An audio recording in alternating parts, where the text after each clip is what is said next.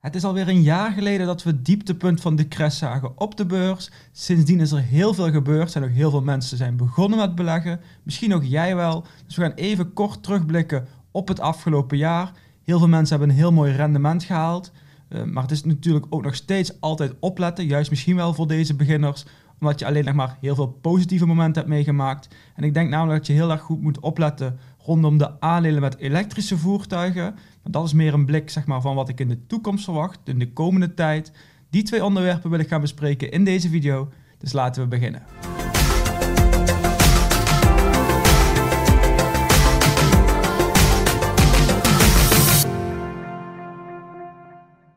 Leuk dat je weer kijkt naar een nieuwe video van een passiefinkomen.nl. Geef even een duimpje omhoog als je het afgelopen jaar ook mooie rendementen hebt gehaald. En natuurlijk om het kanaal te helpen. En dit is een video in de serie uh, Vrijmibeurs. Iedere week, iedere vrijdag maak ik een video met het ja, belangrijke nieuws van de afgelopen week. Het eerste onderwerp voor deze video wil ik dus eigenlijk gaan kijken naar de beurscrash. Want het is inmiddels een jaar geleden dat we daarmee te maken hebben gehad. De laatste weken hebben we vooral te maken met correcties. Maar laten we dus even een jaar terug gaan kijken. En dan te beginnen met de AEX hier in Amsterdam. Die had op 16 maart 2020 het dieptepunt na een daling van maar liefst 38% in 28 dagen tijd.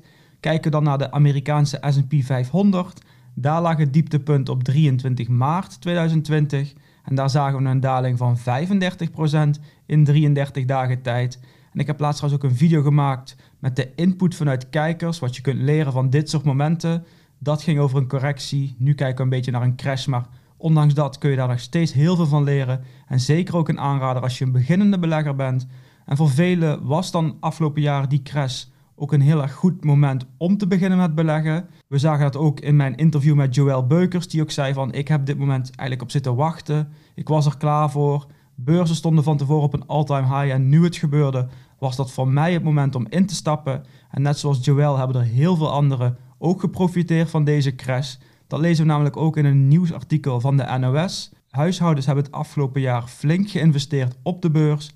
Uit de cijfers van de Nederlandse bank blijkt dat er in 2020 3,8 miljard euro naar beleggingsfondsen vloeide. We lezen ook dat dit de grootste inleg is in het afgelopen decennium. Uh, met name de tweede en het vierde kwartaal was ja, de instroom van geld heel erg groot. In die maanden krijgen werknemers in loondienst krijgen dan vakantiegeld en in sommige gevallen zelfs een dertiende maand. Dus het geld dat je extra had, dat werd vooral ingelegd. En natuurlijk vielen de lockdowns ook in die kwartalen, waardoor beleggers ook meer tijd hadden om ja, uit te zoeken uh, wat ze moesten doen om te beginnen. Door deze inleg en stijgende beurskoersen steeg het totale vermogen van huishoudens op de beurs naar ruim 47 miljard euro.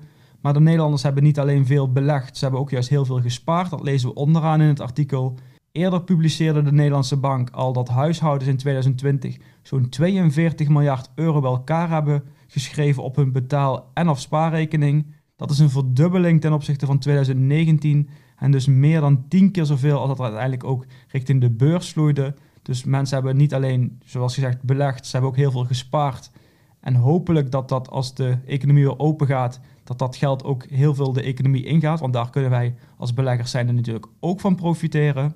Kijken we even terug naar die grafieken. Want was je toen dus ingestapt echt op het beste moment in het dieptepunt van de crash, dan had je heel erg mooie rendementen kunnen behalen. En zelfs als je alleen al de hele index had gevolgd en niet dus alleen voor een specifiek bedrijf was gegaan. Bij de AX zien we namelijk een stijging van 66% sinds dat moment. En bij de S&P 500 is dat zelfs 75% rendement sinds het dieptepunt. En zelfs als je van tevoren al bezig was en je hebt niet verkocht tijdens deze crash, dan sta je nog altijd 13% hoger dan het hoogtepunt van februari vorig jaar. En zo zie je dus eigenlijk ook wel van waarom wij ons richten vooral op de lange termijn. En waarom we natuurlijk ook wel willen profiteren van de correcties of crashes op de korte termijn. Omdat dat gewoon heel erg mooie momenten zijn om wat extra rendement te behalen. En wil jij nou ook beginnen met beleggen? Kijk dan eens naar de Giro, want dat is de broker die ik het meeste gebruik. Net zoals veel van mijn kijkers en 1 miljoen anderen. Onder de video vind je een link om je aan te melden.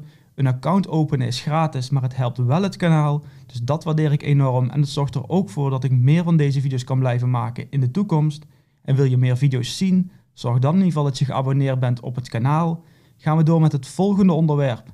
En dat is juist dat je moet opletten rondom elektrische voertuigen. En dan bedoel ik niet de voertuigen zelf, maar meer dus de aandelen, de bedrijven die bezig zijn met elektrische voertuigen. Want we zagen natuurlijk vorig jaar al een flinke hype rondom deze aandelen. Maar ik denk dat er eigenlijk een nieuwe golf aankomt. En daar wil ik dus eigenlijk een beetje op voor waarschuwen. Of in ieder geval zorgen dat je goed oplet en ook goed onderzoek hierop gaat doen. Want laten we gaan kijken naar het aandeel uh, Volkswagen en dat dan vergelijken met Tesla. Omdat Tesla in principe nog steeds wel, denk ik, de koploper is wat betreft EV's.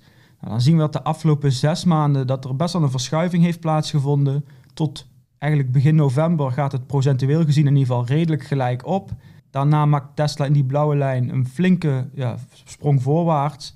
Ook wel weer geholpen door de opname in de S&P 500, waardoor het aandeel gewoon heel erg populair werd. Maar zoomen we nou eigenlijk in naar de, ja, dit jaar, eigenlijk de laatste drie maanden dus, dan zien we dat het ook weer best wel procentueel gezien in ieder geval tot 17 februari redelijk gelijk opgaat. Maar vanaf dat moment er een flinke splitsing te zien is. Tesla staat inmiddels 10% lager dan begin van het jaar en Volkswagen staat zelfs 75% hoger, met zelfs een piek van boven de 100% hoger afgelopen week. En deze stijging van Volkswagen heeft eigenlijk alles te maken met Power Day. We zien dat Volkswagen uh, eigenlijk al langere tijd toegeeft dat Tesla de concurrent is. Ik denk dat heel veel andere autofabrikanten dat ook wel denken, maar het niet durven te zeggen. En Volkswagen durft dat wel te zeggen, durft dat eigenlijk toe te geven. En dat betekent ook echt dat je, in ieder geval, waarom zie ik het als een serieuze concurrent of een serieuze autofabrikant. Dat denk ik een heel belangrijk punt is om eerst al een verandering toe te geven. En dat je daar dus ook op kunt gaan handelen. Dat je eigenlijk wel redelijk weer vooraan loopt. Dat is denk ik wel de reden waarom we juist deze stijging dus zien bij Volkswagen. En zeker de laatste weken wordt het dan ook nog geholpen door Volkswagen's Power Day. Ze doen eigenlijk alles wat Tesla doet, doen ze na. En daar is op zich niks mis mee, want we zien gewoon dat het bij Tesla werkt. Tesla had Battery Day, Volkswagen had dus Power Day. Tijdens die Power Day presentatie vertelt Volkswagen eigenlijk wat hun plan is voor de komende 10 jaar. Zo willen bijvoorbeeld zes fabrieken voor elektrische voertuigen en voor accu's gaan bouwen. En dat zijn best wel heel ambitieuze plannen die ze hebben. En daar reageert, reageren beleggers dus op, reageert het aandeel dus ook op. En nu wil ik niet inhoudelijk gaan kijken naar Power Day of een vergelijking gaan maken met Battery Day van Tesla. Want als we dat gaan doen, dan komt het erop kort op neer dat de plannen van Volkswagen en de verwachtingen voor 2030 en ook vooral de kostprijzen van accu's in, over 10 jaar niet in de buurt komen van Tesla. Tesla is al goedkoper en niet alleen in 2030. Tesla is al goedkoper en bereikt dat punt al in 2025. Dus um, ik wil dat op dit moment niet behandelen in deze video. Daar zou ik eigenlijk nog een aparte video over kunnen maken. En als daar behoefte aan is, laat dat dan in ieder geval weten in de reacties onder deze video. Maar waarom ik het wel wil benoemen, omdat dit gewoon een punt is waar we als belegger zijnde op moeten letten. Ehm, dat is eigenlijk het punt ook wat ik in deze video wilde maken natuurlijk met dit onderwerp.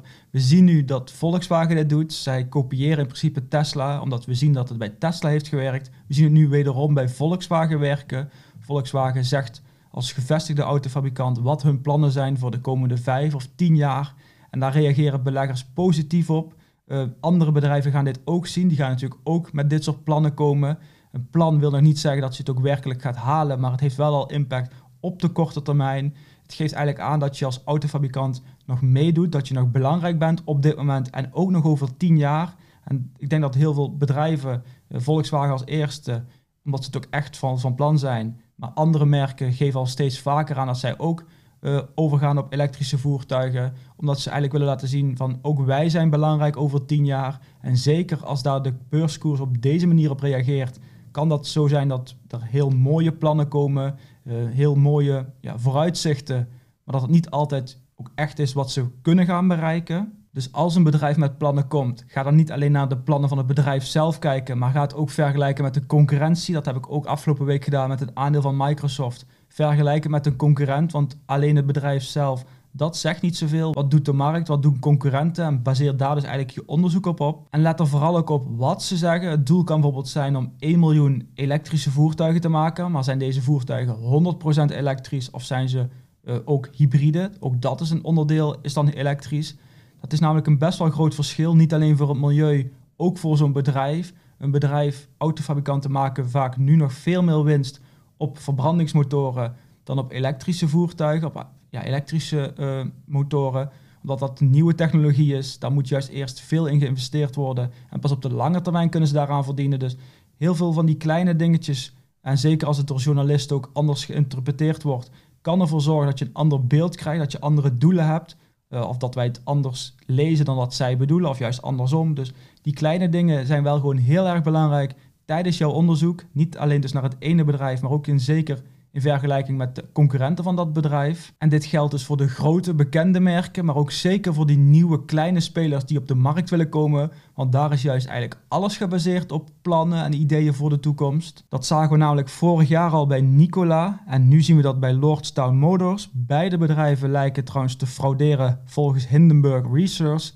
Moeten we wel erbij zeggen dat Hindenburg een bedrijf is dat uh, profiteert van een koersdaling. Dus maar ja, de vorige keer bij Nicola hadden ze het ook uh, gelijk. En dat heeft ook gezorgd voor een enorme dreun voor het bedrijf en het aandeel Nicola.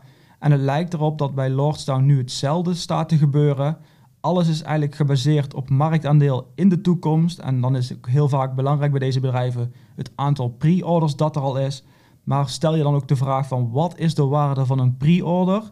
Nou, bij Lordstown Motors zien we gewoon dat ze al voor miljarden aan pre-orders hebben. Dat zeggen ze zelf. Maar bij veel van deze orders blijkt dus wel uit Hindenburgs uh, onderzoek dat ze zijn geplaatst op bijvoorbeeld bedrijven die op een eenkamerkantoortje zitten, dat wel voor 735 miljoen dollars aan trucks bestelt. Een andere was een start-up met twee personen die duizend trucks bestellen. En dan lezen we ook eigenlijk wel, waarom is dat zo? Uh, vaak is het marketing technisch afgesproken met het bedrijf die ze gaat leveren. En zijn het pre-orders zonder verplichtingen. Dus het wil niet zeggen dat als je nu deze pre-order hebt gedaan, dat je ook verplicht bent om het af te nemen. En daarom dus dat ik zeg van ga kijken wat de echte waarde is van een pre-order. Dus doe goed je onderzoek. Eh, ga niet zomaar mee in deze hype, want er gaat gegarandeerd weer een hype komen. Of dat nou rond deze sector is of misschien een andere. Het komt er eigenlijk allemaal op hetzelfde op neer. En als jij een van die beleggers bent die het afgelopen jaar is begonnen hoop ik dat je dat doet. Niet voor de korte termijn, voor het rendement wat je tot nu toe hebt behaald. Maar dat je het ook leuk vindt en het langer wil doen. Dat je echt vermogen op gaat bouwen op de lange termijn. Maar dan moet je niet te veel fouten maken en zeker geen grote fouten. Dus daar hoop ik in ieder geval ja, met dit onderwerp dat je daar een beetje voor kan behoeden. Want bij deze veranderingen zijn het dus de gevestigde bedrijven die willen laten zien hoe belangrijk zij nog steeds zijn over tien jaar. En het zijn juist de nieuwe bedrijven die willen laten zien hoe populair zij nu zijn maar ja, wat is de waarde van die populariteit? Doe daar dus goed je onderzoek naar. En laat ook vooral weten wat jouw rendementen zijn geweest, wat jouw kijk is geweest op het afgelopen jaar. En wat jij denkt van dit soort veranderingen, zoals nu dus bij deze elektrische voertuigen. En hoe kijk jij daar tegenaan? Hoe doe jij het onderzoek? Laat dat weten in de reacties onder deze video. Ik ben erg benieuwd uh, wat jouw reactie is, wat jouw feedback is. Maar het zorgt er zeker ook voor dat we weer van elkaar kunnen leren. En dat is denk ik ook heel erg belangrijk, uh, dat we als community er allemaal op vooruit gaan zijn we daarmee aan het einde gekomen van deze video. Wil ik jou weer bedanken voor het kijken. Vond je het een leuke, interessante video? Geef even een duimpje omhoog. Wil je meer van dit soort video's zien? Zorg dan dat je geabonneerd bent op het kanaal. Het is inmiddels iets over vijf, dus het weekend staat voor de deur. Ik zou zeggen een fijn weekend. En hoop ik jou weer bij de volgende video te zien.